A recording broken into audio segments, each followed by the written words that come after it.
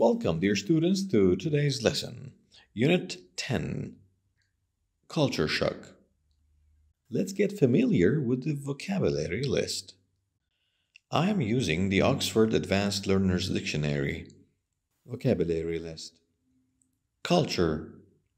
The customs and beliefs, art, way of life, and social organization of a particular country or group. Shock. A strong feeling of surprise, especially something unpleasant. Foreign. In or from a country that is not your own. Unfamiliar. That you do not know or recognize. Custom. An accepted way of behaving or of doing things in a society. Symptom. A sign that something exists. Indication. Initially. At the beginning. Familiar. Well known to you. Knowing something very well. Honeymoon. The period of time at the start of a new activity when nobody is criticized and people feel enthusiastic. Frustration, a feeling of anger or annoyance caused by being unable to do something. Romanticize, to make something seem more attractive than it really is. Adjustment, a small change made to something in order to correct or improve it. Comfortable, making you feel physically relaxed in a pleasant way. Adaptation, the process of changing something to suit a new situation. Acceptance, the act of agreeing with something and approving it. Contribute, to give something to be one of the causes of something. Solution, a way of solving a problem or dealing with a difficult situation. Answer. Balance, a situation in which different things exist in equal, correct, or good amounts. Identify, to recognize somebody or something, to find or discover somebody or something. Relief, the act of removing or reducing pain, anxiety, etc invaluable, extremely useful, similar, almost the same as somebody or something else, interconnected, joined and related, incredibly, extremely, unbelievably. Let's start with the reading passage. Culture shock is an experience people may have when they move to a foreign country with a new cultural environment, which is different from their own. These unfamiliar surroundings can lead to a feeling of being a little bit lost. For example, when a student starts studying abroad, he or she experiences different things in custom, dress, and food. There are many symptoms of transition shock, including anger, boredom, extreme homesickness, eating disturbances, and excessive critical reactions to host culture. Sometimes the symptoms last just few days, but more often they last weeks or even months. People experiencing culture shock usually move through four stages.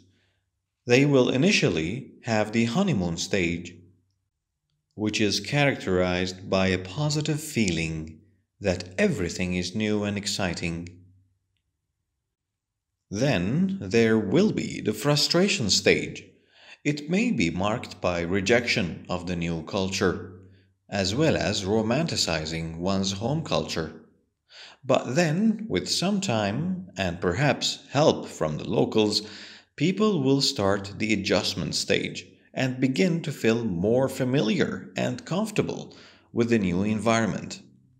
Adaptation and acceptance is the final stage, which contributes to the successful integration. In fact, there is no magic solution for dealing with culture shock.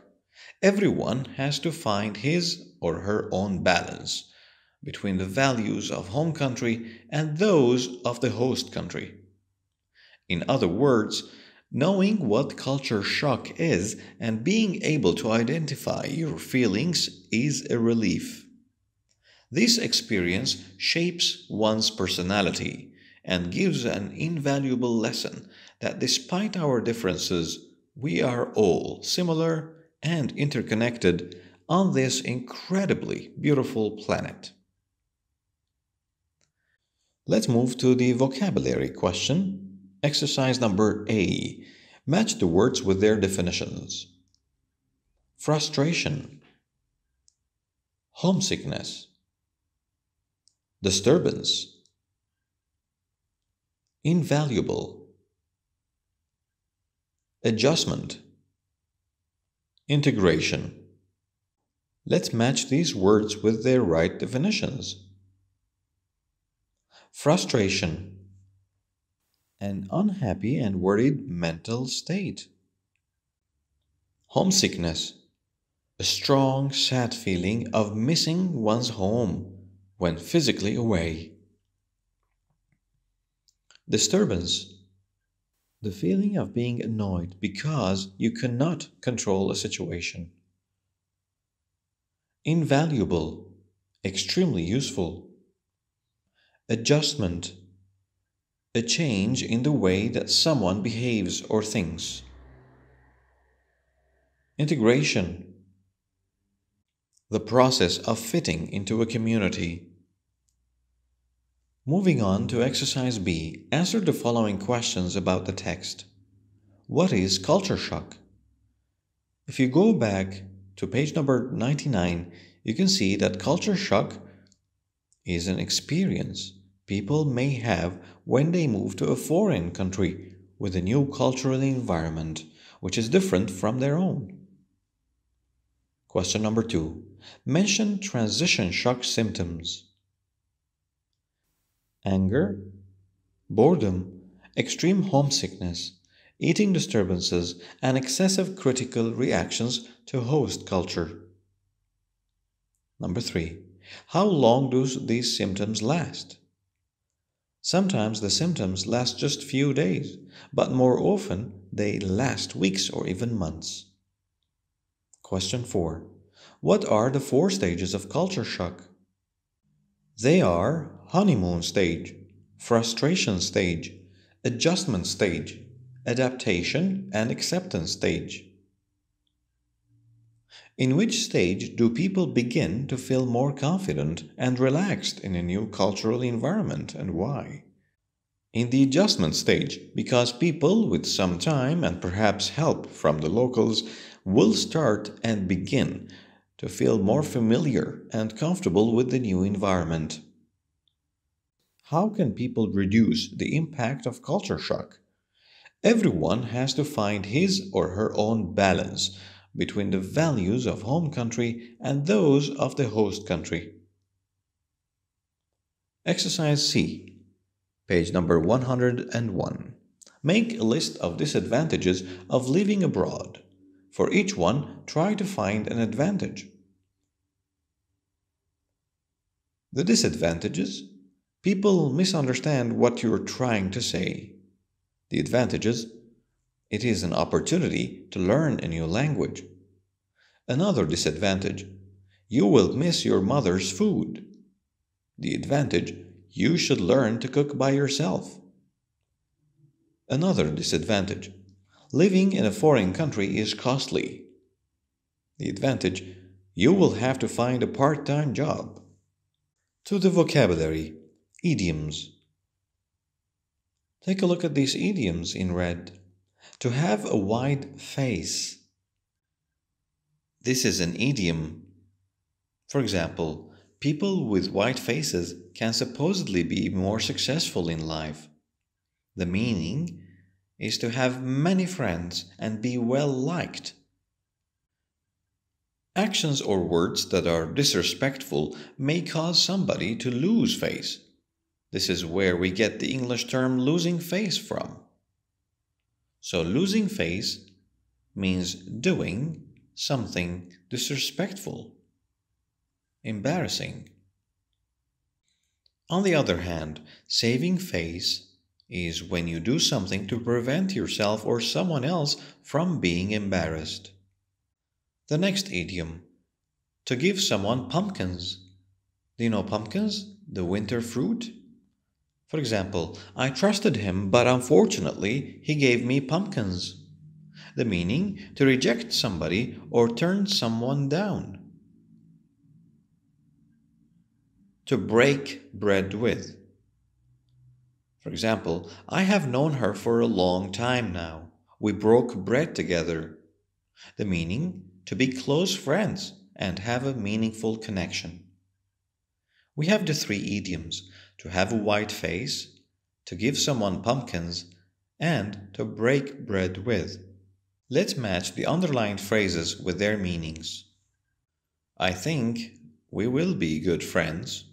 We both have a white face. You have to study hard in order not to give your parents pumpkins.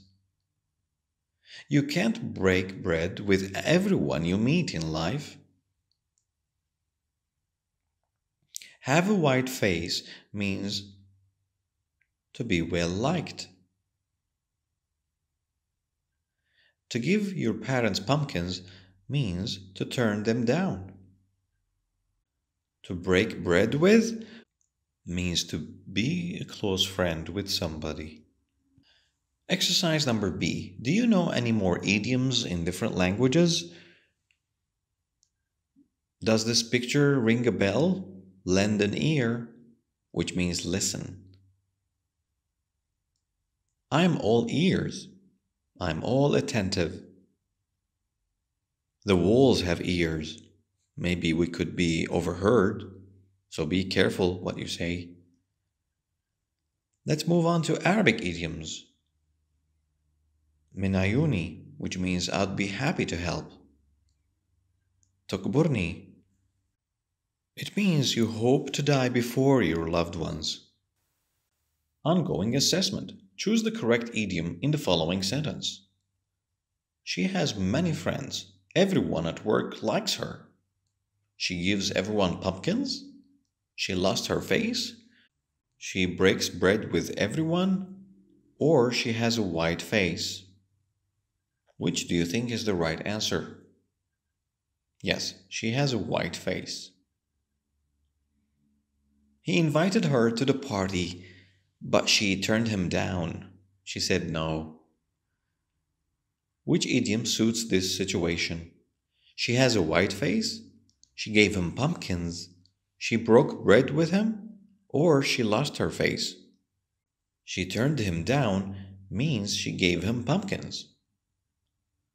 Let's move on to the pronunciation. Listen and practice.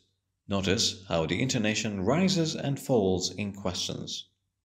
What's the time? Where do you live? Are you going to the party tonight? Have you got a pen? You're French, aren't you? He's very tall, isn't he?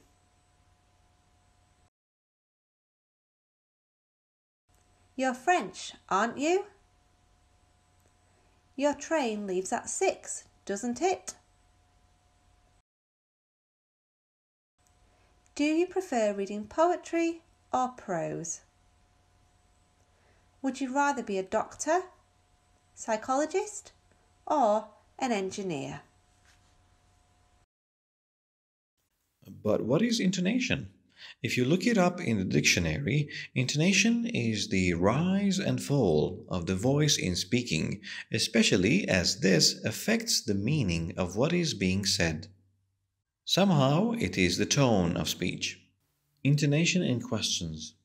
In WH questions like what, where, how, when, how long, how far, etc., we use falling intonation. The speaker's voice rises, then falls on the last content word, if being asked for the first time, or asking for information we don't know. What's the time? Where do you live? Notice here we have a WH question and the intonation is rising then falling. It's a falling intonation because it's a WH question. Number two, in yes no questions, we use rising intonation. The speaker's voice rises on the last content word or phrase. If we are checking information we think we already know, our voice goes up at the end. Are you going to the party tonight? Have you got a pen? Notice how the intonation rises in the end of this question because it's a yes no question. Number three, question tags expecting confirmation. We use falling intonation. You're French, aren't you? He's very tall, isn't he? In this case, we use falling intonation because we are expecting confirmation. Number four, question tags showing less certainty. We use rising intonation. You're French, aren't you? Your train leaves at six, doesn't it? In this case, the question tag has a rising intonation because the speaker is less certain and wants an answer. The last case, number five, in questions that offer choices, the speaker's voice rises on the first choice and falls on the last choice. Do you prefer reading poetry or prose? Would you rather be a doctor, psychologist, or an engineer? Notice here we have options or choices, so the intonation rises on the first option, then falls on the last option. Let's do the following exercise. Read the questions below. Does the intonation rise or fall at the end? Listen and check. Do you like pop music? It's a yes no question, so it's a rising intonation. Would you like to walk or take the bus? A falling intonation because we have choices here. The movie was great, wasn't it? Here the speaker is seeking confirmation, so she's using falling intonation in the question tag. What time does the museum open?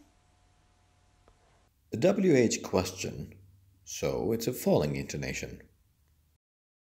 People use first names here, don't they?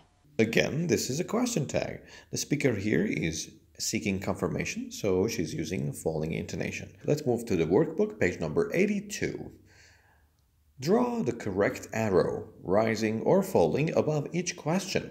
Then practice the questions. Number one, your parents are from Italy, aren't they? Number two, do you prefer to study nursing or education? Number three, have you talked to a professor? Number four, where was the article published? Number five, would you rather have tea, coffee, or cappuccino? Let's move back to the student's book, page number 103. Modals, obligation, or lack of obligation. Exercise A. Complete the sentences with should, shouldn't, must, mustn't, have to, don't have to, or doesn't have to. Number one, use must to express personal obligation. Use have to to express general obligation, a law, a rule at school or at work. Use should to give an opinion or a recommendation. Number four, shouldn't expresses negative advice. Don't have to or doesn't have to is used to express absence of obligation. Number six, mustn't means you are not allowed to do this. It is against the rules. You can find plenty of explanations and examples in the workbook, page number 83.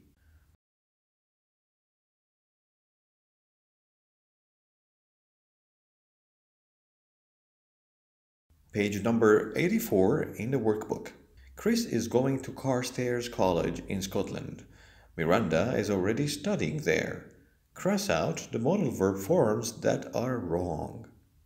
So let's read only the correct modal verbs. Can I ask you a few questions about Carstairs? Of course. Do I have to wear a uniform? No, but you must dress smartly. You can't wear jeans.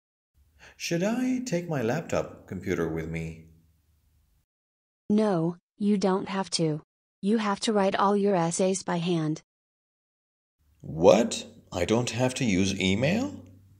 No, I'm afraid not. Carstairs is very old fashioned. Anyway, when are you leaving? I don't have a ticket for the train this evening. I should have reserved a seat though. I have to stand all the way to Scotland. Should I give you a ring later and see how things are going? Sure. Oh, another thing. Can I use my mobile phone at college? Yes, don't worry. But you must switch it off during the school day. Okay. Can you give me any more advice? Yes. You should visit the lake near the college. It's beautiful. Exercise C. Look at the signs and complete the sentences with mustn't or don't have to. Remember, mustn't is when something is not allowed, and don't have to is used when you want to show freedom. The first instruction is in the library. No talking. Please leave books on tables. The second instruction in the antique shop. Please feel free to come in. No eating. Instruction 3. Entry possible 30 minutes before the concert. No late arrivals allowed. Sentence number 1. You talk in the library. You are not allowed to talk in the library. You mustn't talk in the library. Number 2. Put the books back on the shelf. It's unnecessary to put the books back on the shelf. It's written on the wall. You don't have to. You don't have to put the books back on the shelf. Number three. You go in. Feel free to go in. Please come in. You're welcome. But if you don't want to, you don't have to. You don't have to go in. Number four. You eat inside. It's not allowed to eat inside. You mustn't eat inside. Number five. You arrive half an hour early. It's written. Entry possible, so you can. You can arrive half an hour early, but it's not a must. You don't have to arrive half an hour early, but you can if you want to. Number six. You arrive late. No late arrivals allowed. It's not possible. You mustn't arrive late. Exercise D. Here is the work plan for the information office at Heathrow Airport for the last weekend. If someone didn't work, there is a comment about the reason. From the information in the table, write complete sentences using had to, didn't have to, or should have, and the words in brackets. Remember, all these obligation modal verbs are used in the past. Let's start.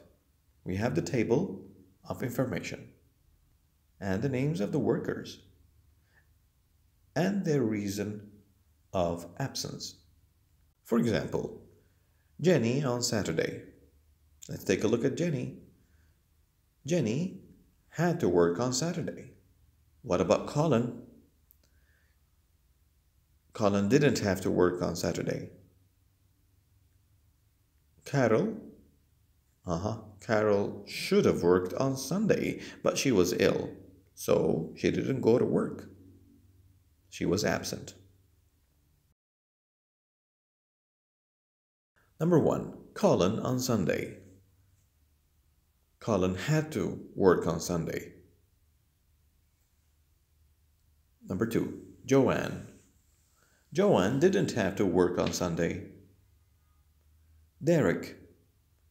Derek should have worked on Sunday, but he was ill, so he didn't go to work. Mary didn't have to work on Saturday. Brian.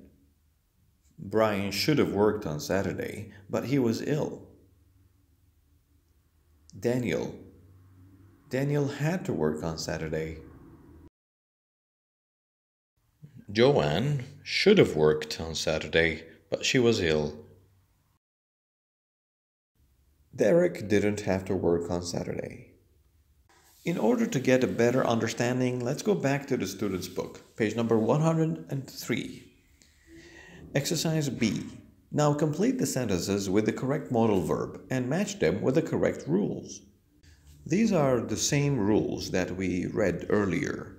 Let's match each rule with a suitable example. Number one.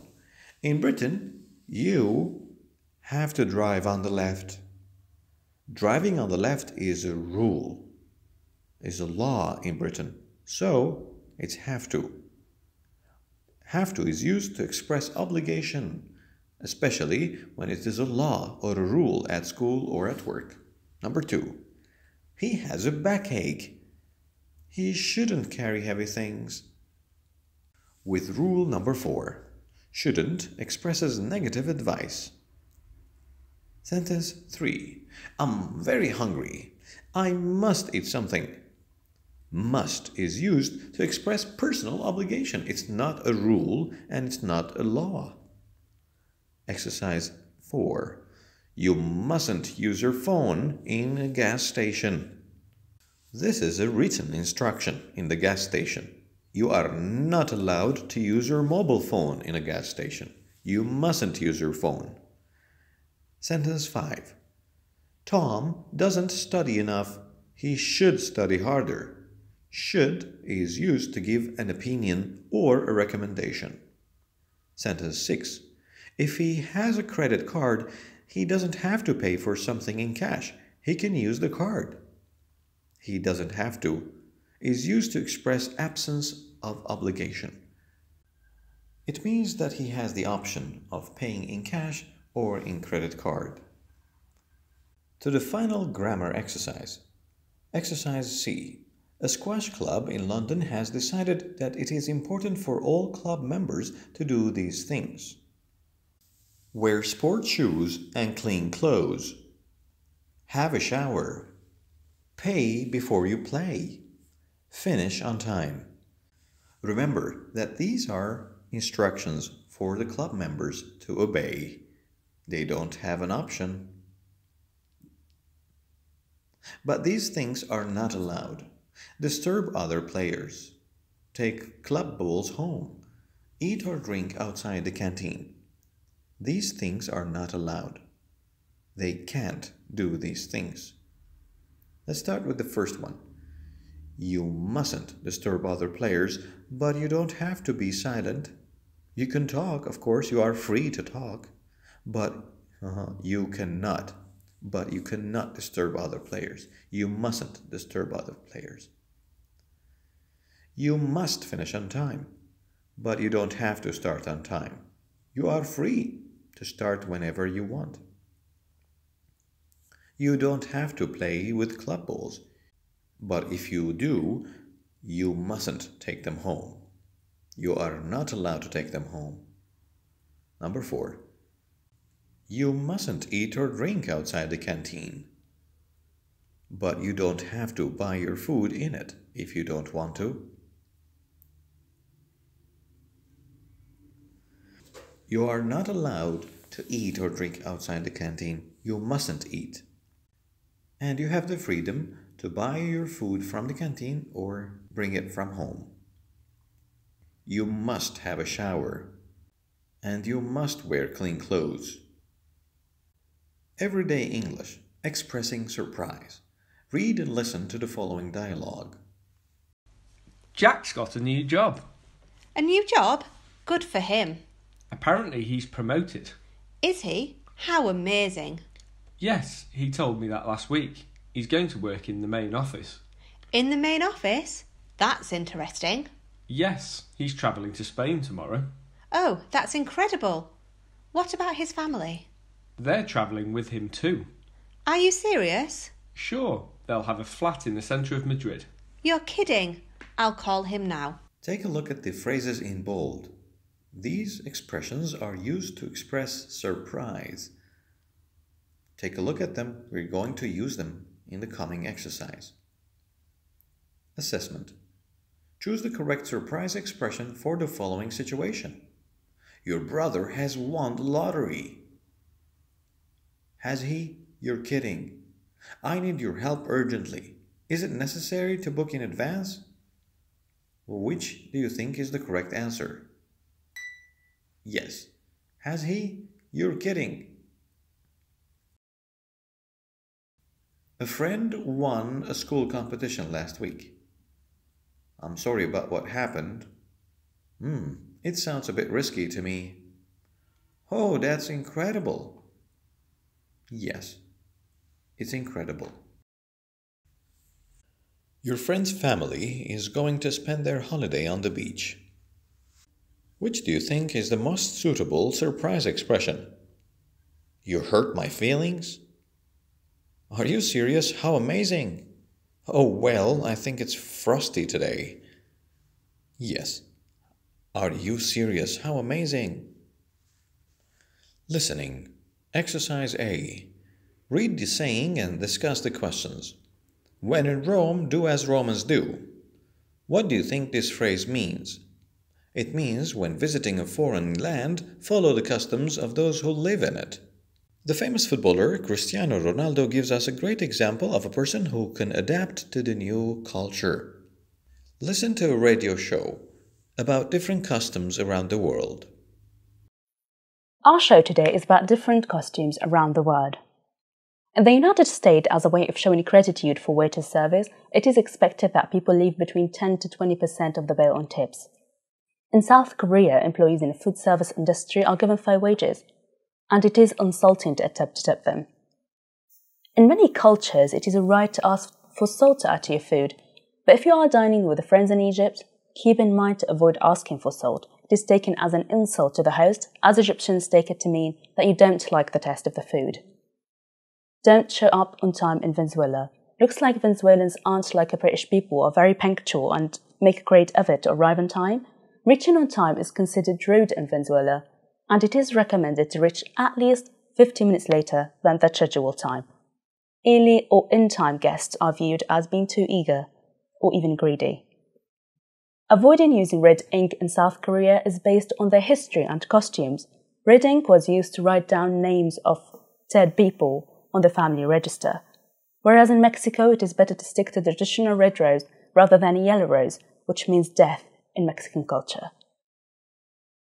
Match the country with the suitable behavior. In the United States, it is one of the customs to leave between 10 to 20% of the bill in tips as a sign of gratitude. In South Korea, it's better to avoid using red ink for writing names of your friends because in the South Korean history, they used to write the names of the dead people in red ink in the family registers. In Egypt, it's socially not acceptable to ask for salt when dining. In Venezuela, it is better to arrive later than originally planned. In Britain, it is important to arrive on time. They are very punctual. In Mexico, please don't gift a yellow rose because it is related to death in their culture. Exercise C. Listen again and write the names of countries with contrasting customs. In the United States, as a way of showing gratitude for waiter service, it is expected that people leave between 10 to 20% of the bill on tips. In South Korea, employees in the food service industry are given fair wages, and it is insulting to attempt to tip them. In many cultures, it is a right to ask for salt to add to your food, but if you are dining with friends in Egypt, keep in mind to avoid asking for salt. It is taken as an insult to the host, as Egyptians take it to mean that you don't like the taste of the food. Don't show up on time in Venezuela. Looks like Venezuelans aren't like a British people, are very punctual and make a great effort to arrive on time. Reaching on time is considered rude in Venezuela, and it is recommended to reach at least 50 minutes later than the scheduled time. Early or in time guests are viewed as being too eager or even greedy. Avoiding using red ink in South Korea is based on their history and costumes. Red ink was used to write down names of dead people on the family register, whereas in Mexico it is better to stick to the traditional red rose rather than a yellow rose, which means death in Mexican culture. This is the end of the lesson. Thank you.